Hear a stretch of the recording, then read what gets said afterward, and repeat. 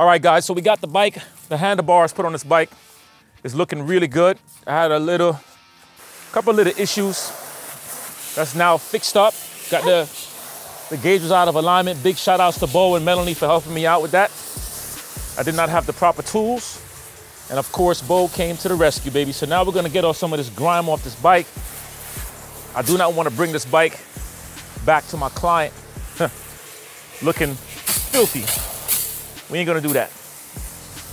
I'm not doing a full detail, but I am gonna make it better.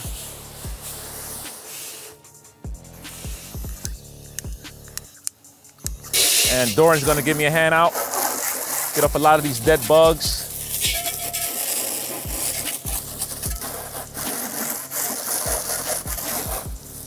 Thing to me about clientele is um, when it comes to business, you know, it's the little things that we do and being honest with each other, you know, like the little issue I had on the bike, I'm honest with that. I'm not gonna hide that. Honesty goes a long way. But now the, problem is solved and we are good. Guys, if you don't know, when you're doing wipe downs, these socks comes in handy. Socks helps you to really just get into, into spots, but being careful not to smack your finger. You get a good little rub down. Doesn't take a long time either to get your bike on point. But if you're not careful, like I said, you will smack your finger forgetting that your fingers are not protected. They also sell the actual mitts that you can use to wipe your bike down as well. Got Dorian here helping me out in his little headpiece and his PJs, and so I love my son, man. Good stuff, Dorian. Good stuff. Thank you. Remember in business, right? Whenever you do business, right? Yes. You treat every client like luxury. You know what I'm saying? Yes. Sometimes you gotta go above and beyond to, to win to win that client. Especially when you have other people doing what you're doing. Yes. Your job is to win the client. You ain't got no time for, for shortchanging or you know what I mean? Experience. The experience is everything in business. You good? I need a jet. There we go.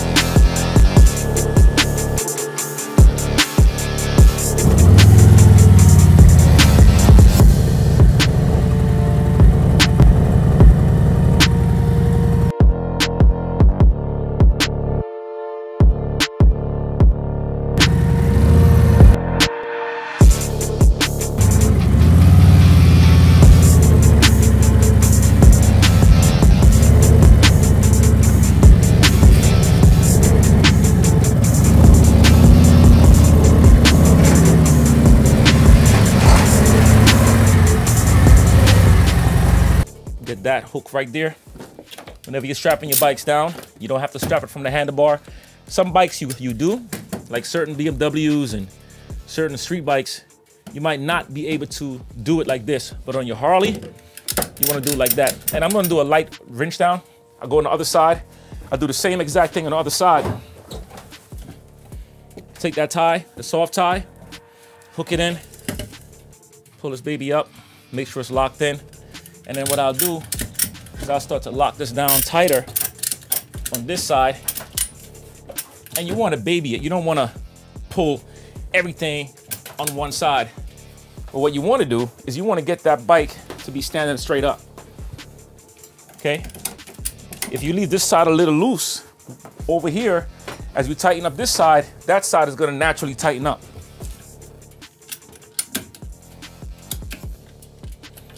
you want to get it tight. And do a, do a quick check. And you want to have, see this? You want to make sure that this is not on the floor, okay? But I'm gonna leave that down The back, I do the same thing on the back. I'll find a place that I can hook this to. The back is only to keep the bike secured. So you want to do a four point connection. So I put it right here in this frame. You just want to find a hard spot to put it on. Hook it in there. Take the ratchet. Uh, that, uh oh, I don't like when it's, I don't like when it's um, not straight. See this? I like when this is straight. Dorian, how we doing, buddy? Good. Man, I feel, I feel good though. I feel real good knowing that I- made a decision to start a business. You know what I'm saying? Yeah. And the business is doing its thing already. And this is just the beginning. What's gonna happen after a while, more and more people is gonna start to put their request in to get their brand new bikes picked up or, hey man, I got a bike that broke down. It's not always breakdowns. You know what I mean? It's never always just breakdowns.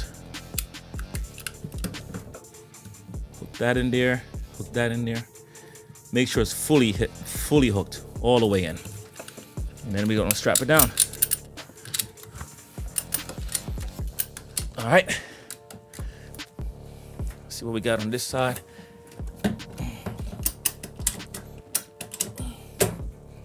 Go a little tighter.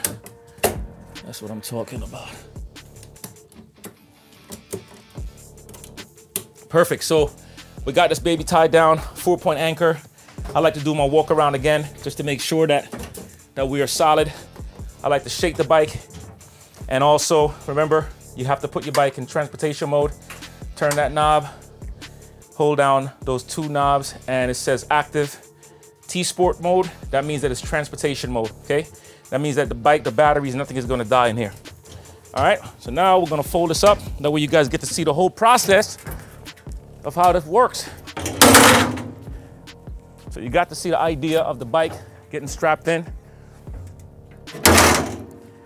Always grab it from the middle. It's like it's like doing a like doing a deadlift. Take these. I'm gonna get something that I could use to hook these on on the side here, and then I'm gonna get something from my battery jumper to do the same thing. Like I said, this is just the beginning. I got a, I got a couple of ideas I'm gonna be doing, like the floor up there. I'm gonna take it to a welder, my boy Jake, and we're gonna build something that's gonna elevate the whole floor. I could take it out when I want to, but that way I could put two bikes. Believe it or not, when you put a bike to your left over, you could put another bike to your right. You could stagnate it. All right, that's it. All right, so we're about to go drop this off.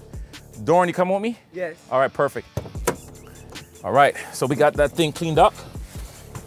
And we are about to get this party started. You know, if y'all don't know how to start these vans, you got to turn the key like as if you're putting it in auxiliary. Let all the lights go out. And then after that, then you start it. And we'll start right up. Guys, 404 971 0458. That's my number. That's my direct number. I'm not hiding from nobody. I'm doing a business. All right. Let's get after it. We're about to head over there, punch in this information. I'm about an hours away. I, I chose to drop the bike off to him because of the, the, the minor hiccup. And um, I'm feeling good about that, getting that done. Yeah, we're about 59 minutes away, which is perfect. Log Let's that in.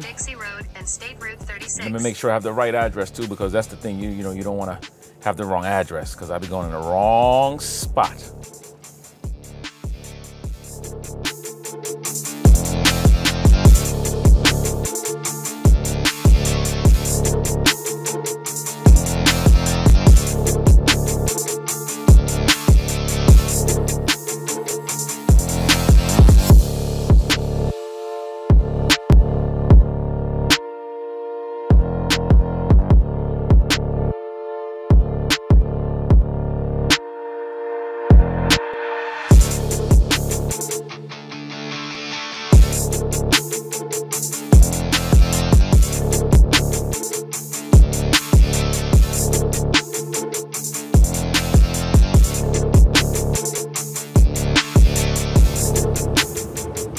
All right, so about three minutes. Um, yeah, three minutes left.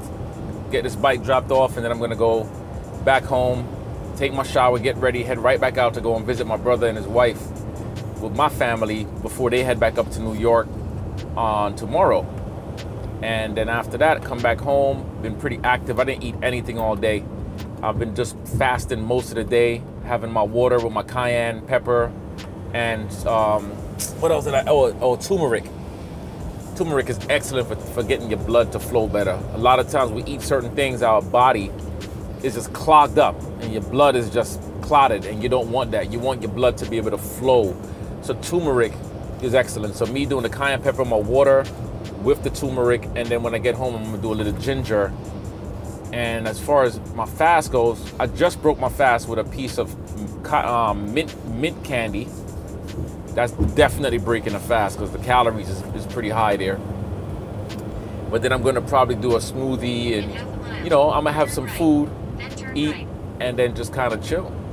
You know, but it's imperative going into 2024 that you guys are focusing on your health, on your mental, your spiritual, your emotional, your financial, you know, focus on all that perspective of your health because I'm telling you right now, as men, and I know that ladies watch this as well, but this channel is mostly men.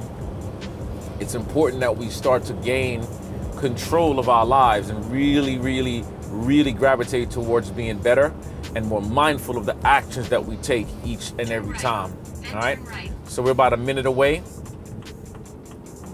Once I drop this thing off, I'm gonna enjoy seeing seeing my bro with his um, new bars on his bike. His 14s. He hasn't he hasn't seen the bike, so it's gonna be good to see him riding the bike and feeling comfortable on it. He was contemplating between 14s and 16s and so forth, but 16s you gotta really change out everything. The 14s is by choice. All right, so we're coming up. We're coming up soon. You've arrived at your destination. Here we go, right here.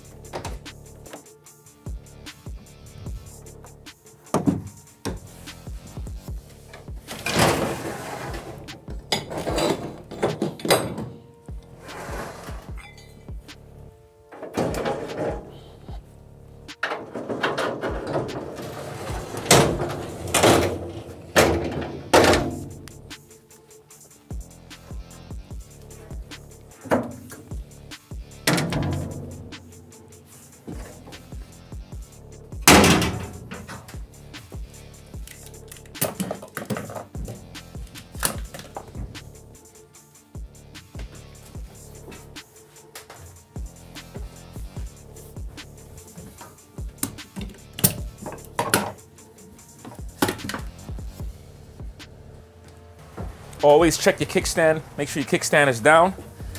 And on, on unhitch the bike from this side first.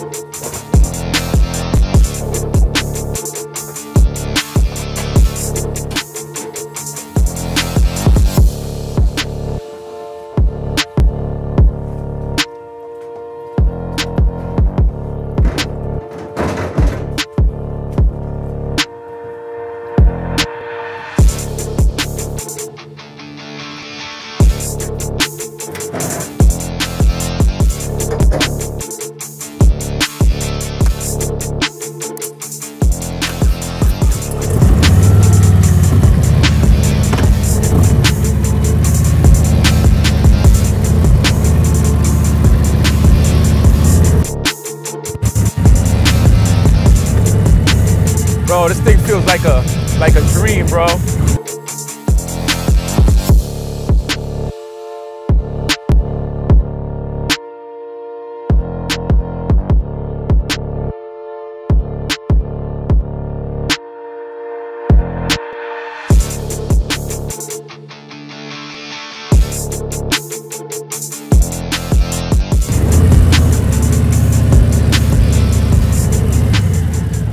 You don't mind, do you? Nah, I don't mind at all, man. No- Oh, we don't, bro. We don't care. Look at me, dog. Look at me. It is what it is. All right, so guys, so we dropping off the bike. My bro getting a chance to see his bike, getting a chance to really see what his what his uh, 14 inch bars are gonna feel like. It's the goat, man. Yo, it looks good. It looks good, bro. Yeah, that position looks good too. Oh yeah.